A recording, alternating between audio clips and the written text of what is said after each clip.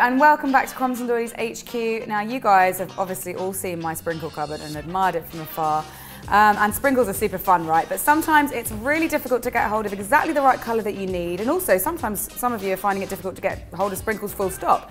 So, Sally and Nikki are going to show you a really neat hack on how to make your own sprinkles. Over to you guys. Okay, so this is really, really simple. First, you're going to need some royal icing, and Jemma will put a recipe for that in the description box below. Yeah. Um, and then you just want to mix it up to whatever colour you want your sprinkles to be. We've got seven colours in total because we want them to be Rainbow. rainbow sprinkles. So we're actually using a number two nozzle. Uh, it's just what we prefer in the bakery, but you can use a bigger, smaller, whatever you like. It's up to you. Yeah. So all we're going to do next is pipe really, really long lines across some greaseproof paper. You could do this on the surface if you want to, but greaseproof's just a bit easy. It's tidier. It's tidier. Yeah. Let's go.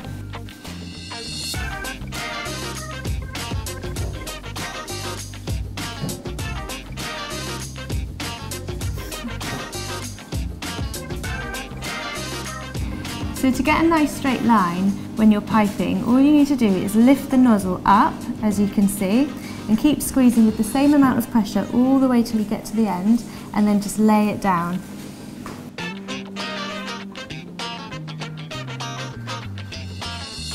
Okay.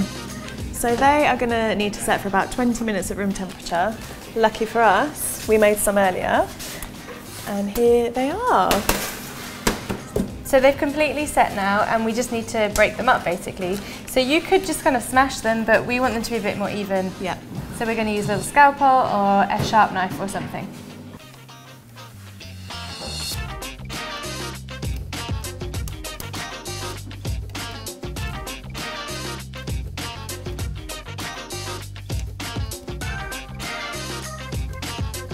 And once you've cut them all up, you might find that there's um, some dusty bits in there.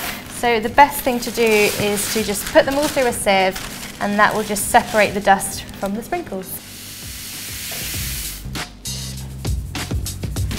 And that's the other great thing about using the grease greaseproof is that you can easily just pick them all up and tip them into the bowl without scraping around. Yeah.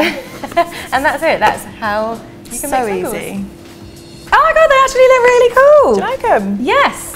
And I love the colours. Oh yeah. Well done, guys. Thank you. Um, so hopefully you enjoyed that and you learned how to make sprinkles and you can do them in any colour you like, so that's obviously a bonus.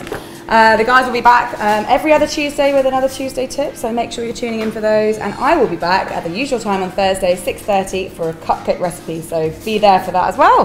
Thanks guys, this is awesome. Yeah. I'm going to sprinkle some cupcakes. right okay, then. bye. Bye.